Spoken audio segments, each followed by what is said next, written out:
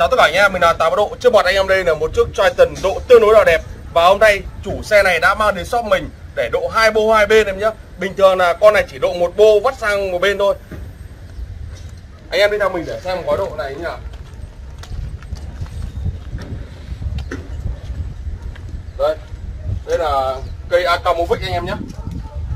Bình thường thì chỉ độ một bên này thôi anh em ạ. Đó. Rất là đẹp. Nhưng gói độ này mình sẽ đã độ hai bên rồi. Đây em ơi sang đây. Chủ nhân là tương đối là chịu chơi anh em ạ. Đó. Hai bô hai bên. Rất là ác man luôn.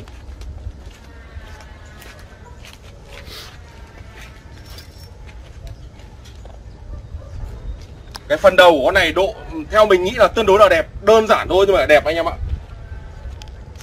bây giờ mốt chơi bán tải độ bô với cả độ body cái kiểu như này rất là nhiều. Cái con này thì theo mình nghĩ là chủ nhân đã đầu tư một cái gói độ rất là hợp lý. Tại vì anh này rất nhiều xe mà anh ấy nói với mình anh có tầm 5 6 xe gì đó. Và cái con này chỉ là con xe anh ấy đi chơi mà thôi. Đó, anh em nhìn bộ cản trước này, rất là đẹp. Cái con này ngày xưa mình cũng đã từng muốn mua rồi, nhưng mà mình lại mua sang Navara để độ anh em ạ.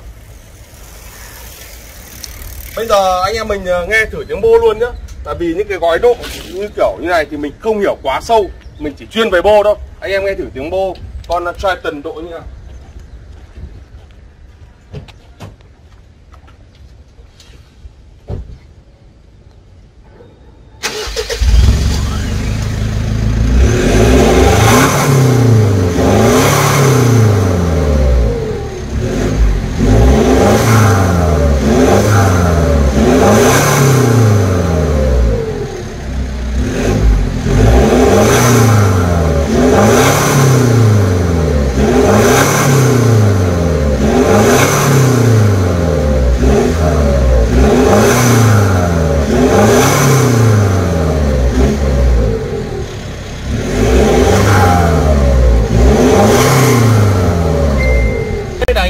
Bên tay phải. Và bây giờ anh em nghe bên tay trái nhé con này là hai bô hai bên nhưng mà bô thật. Cái kia mà đã lắp giả nó đẹp đâu mà nó cũng ra tiếng từ đó luôn anh em nhé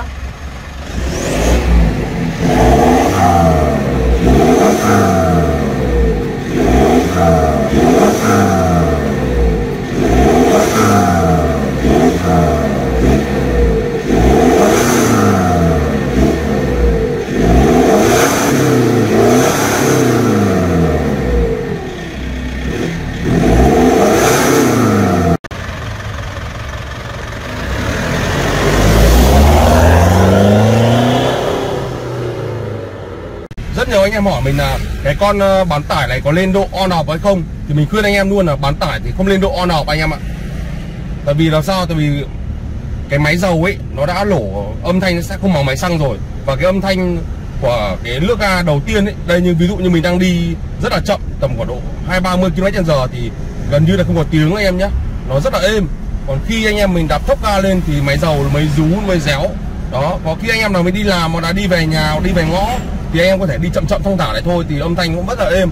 Tại vì máy dầu nó nổ không quá to em nhé nó rít gió và nó gào là chính, chứ không kiểu hú như kiểu máy xăng anh em nhé đây, mình sẽ đạp sâu ga một chút. Vì ngồi trong này hơi khó nghe. Đây, anh em ạ. Không biết anh em nghe rõ không, nhưng mà mình ở ngoài nghe rất rõ. Đó.